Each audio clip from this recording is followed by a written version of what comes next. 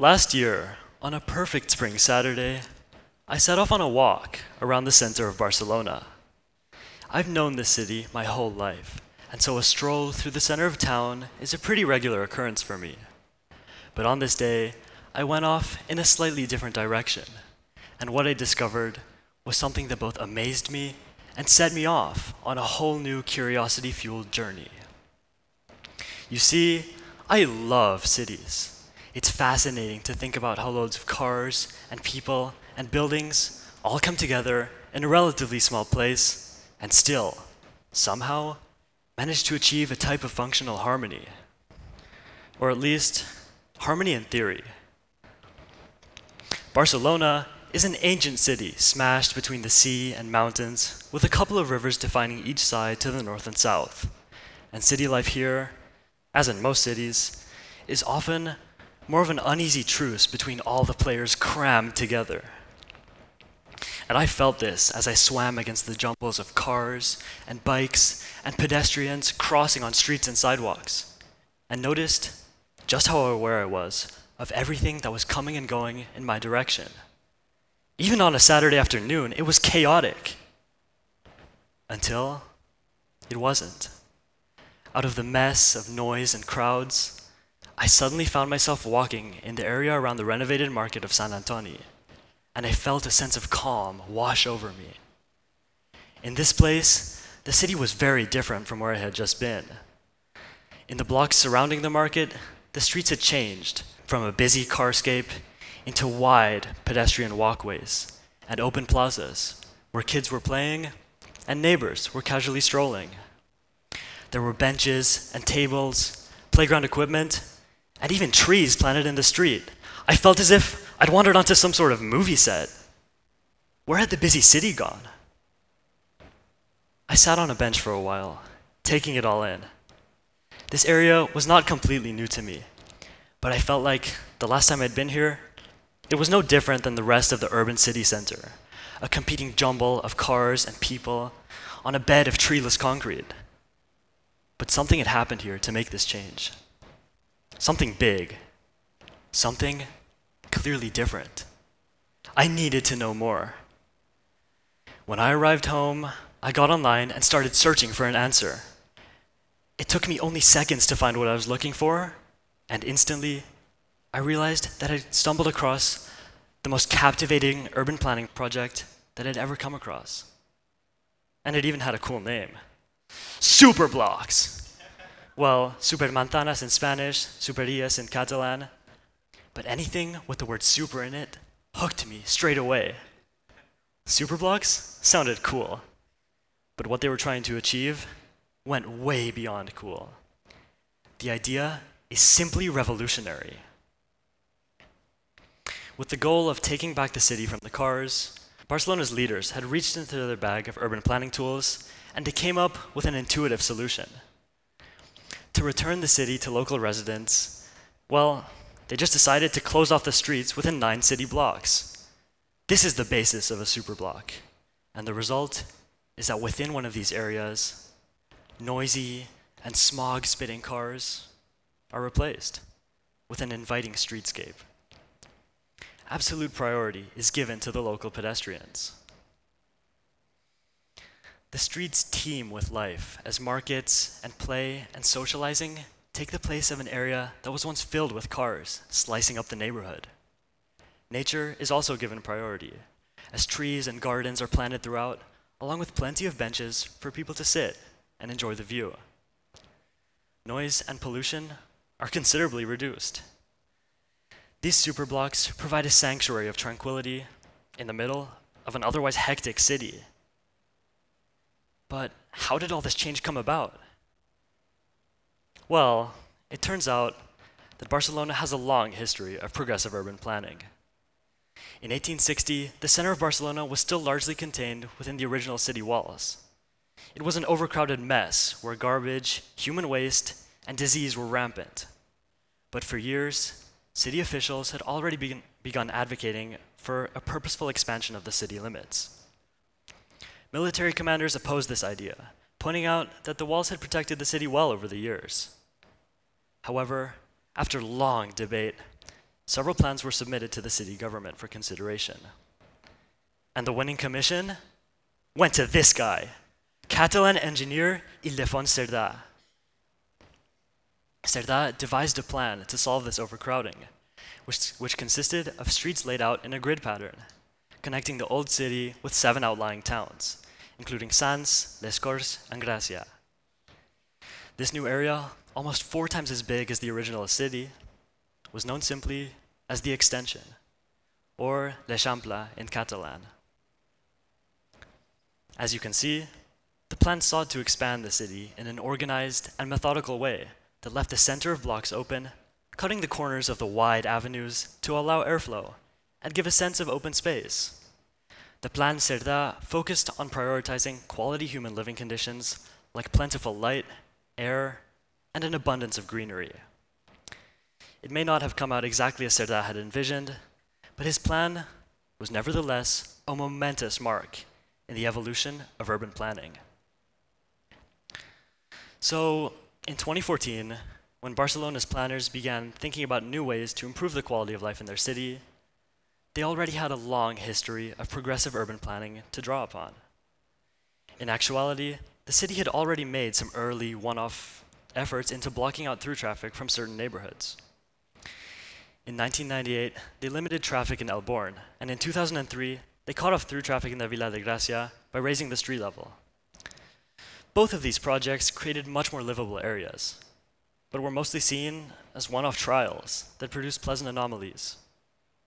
Then, what was driving the urban planners to apply these concepts citywide in 2014? You see, Barcelona, like cities around the world, was experiencing huge population growth. For many years, people had been streaming into the city from their rural homes, looking for a better life.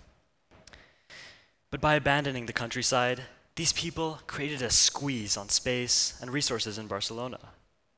City officials were suddenly faced with a whole new set of urban planning challenges.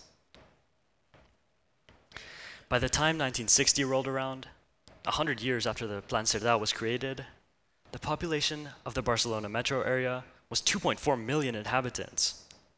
Today, that number stands at 5.7 million. Many of these people who came to Barcelona wanted to bring their cars with them. And these cars bring noise, traffic, and air pollution.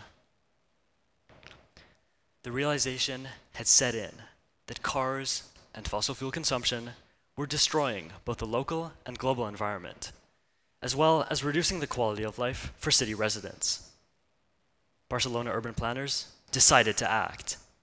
It seemed a no brainer that it was time to put cars in their place and give city residents the quiet, clean, and green city that they deserved. One where people, not cars, were given the priority. And just like that, superblocks were born. Except they weren't. Not immediately. You see, the vision of a city with reduced traffic that focused on local neighborhood living apparently wasn't a no brainer. At least, not for everyone. In Barcelona, as in city governments everywhere, not much often gets done without a whole lot of talk, negotiation, and strong feelings. In Barcelona's case, because so many people feel so strongly about this unique city, the idea of making such radical changes sparked vigorous debate. There were a variety of people whose interests led them to oppose the construction of these superblocks, starting with almost anyone who owned a car and believed it to be their right to drive where and when they liked, without being sent a long way around one of these inconvenient superblocks. Additionally, residents just outside the superblocks feared that the overflow traffic from these quiet and green blocks would make their streets even more congested than they already were. And finally, there were housing equity activists who believed that the increased values of superblocks, of the apartments inside the superblocks, would bring in speculators, drive prices up, and push local residents out.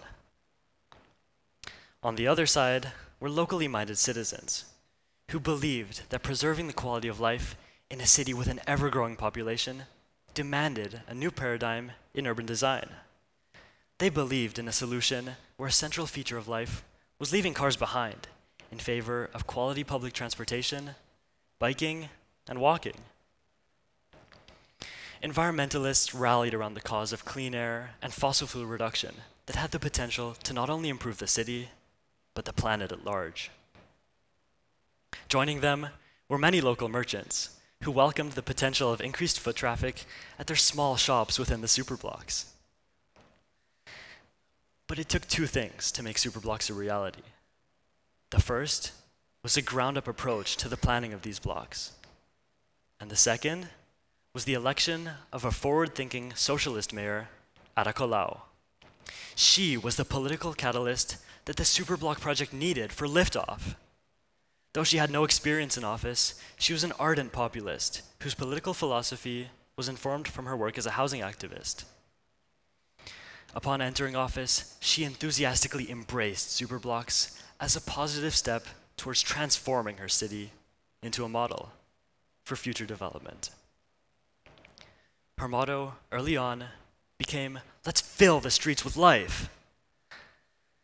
However, Mayor Colau wasn't the only driving force behind the superblocks. Barcelona is unique in that citywide councils of residents have a strong voice in issues affecting their neighborhoods. In each of the areas where a proposed superblock might be placed, the residents came out to offer their critiques and fears, as well as their hopes and dreams. Superblock meetings, held over the course of several years, were filled with detailed suggestions that were cultivated and ultimately folded into the final designs of the superblocks we know today. This conceptualization was something that truly reflected the best of the democratic process. And while Colau was busy bringing her vision to life, the rest of the world started watching as the residents of the first superblocks began stepping out their front doors and into a brand new world.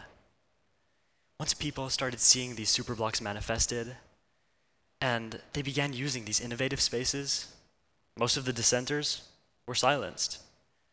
More than that, residents from across the city began calling into the mayor's office saying just how much they wanted their own superblocks. In short, superblocks have been a huge hit in Barcelona and a stroke of genius in contemporary urban planning.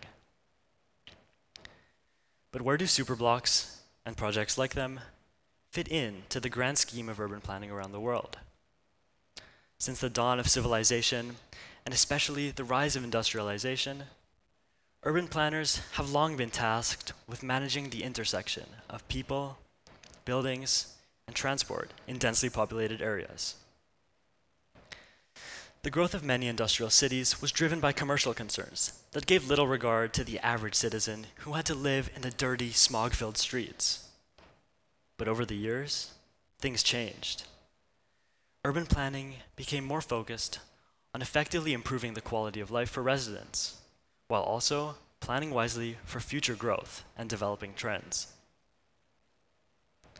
Specifically, urban planners around the world have put Barcelona under the microscope because superblocks respond to the new realities of a modern city.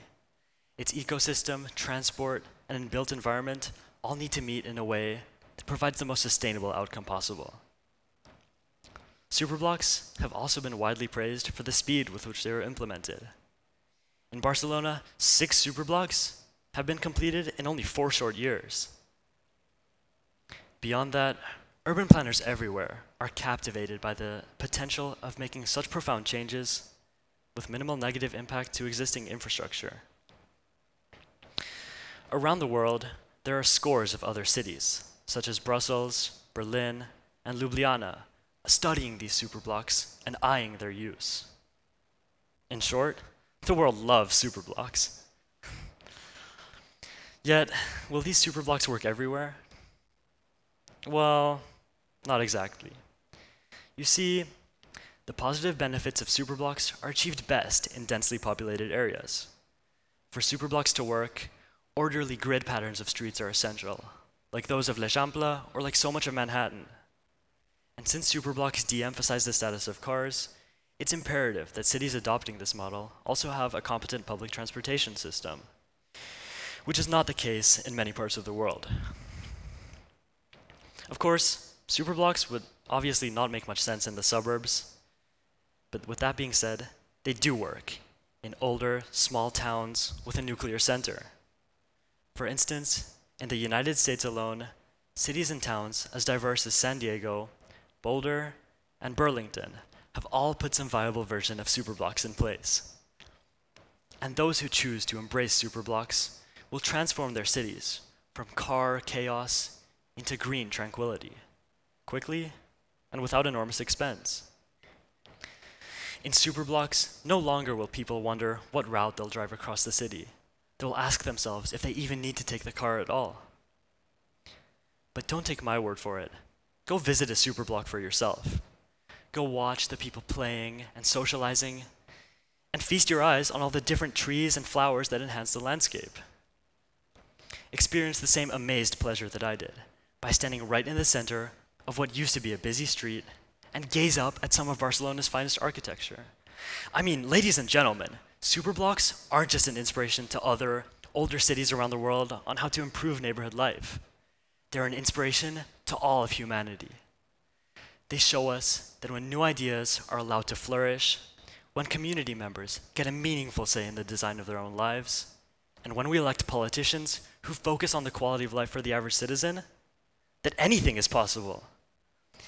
And in a world full of some serious problems, that is a most welcome and encouraging proposition. So, thank you, Superblocks, and thank you all for listening.